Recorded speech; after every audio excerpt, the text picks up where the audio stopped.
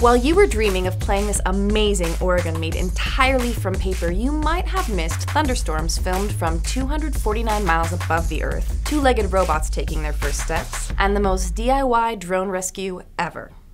Welcome to In Case You Missed It, where we know that trying to crack an 80 foot bullwhip is a bad idea, but hey, some people just have to learn the hard way. Well, that is by far one of the stupidest things I've ever done in my life. I think I was muscling it way too hard. Transient luminous events like red sprites and blue jets have been notoriously difficult to study as they occur 25 to 60 miles above thunderstorms, which obviously makes it hard to get photographic or video documentation. However, ESA astronaut Andreas Mogensen was able to capture video of the electrical discharge phenomena while he was aboard the International Space Station in 2015. Using the most sensitive camera available, Mogensen caught 245 blue flashes of lightning.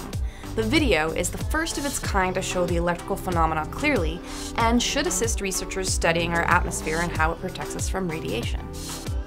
You know how I know that we're living in the Star Wars universe? It's not the Army's new speeder bike prototype. It's that Agility Robotics has built the self-propelled lower half of an ATST. Say hello to Cassie.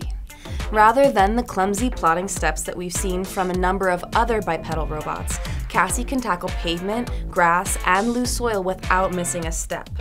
While Agility Robotics thinks their three month old creation can eventually help in search and rescue operations, they figure its first job will be delivering what else? Packages and pizza. It makes sense too, because for as capable as the delivery drones from Starship Technologies are, there's one thing they can't overcome stairs.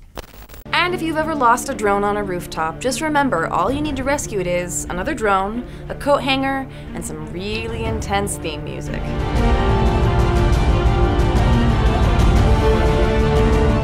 Happy Valentine's Day.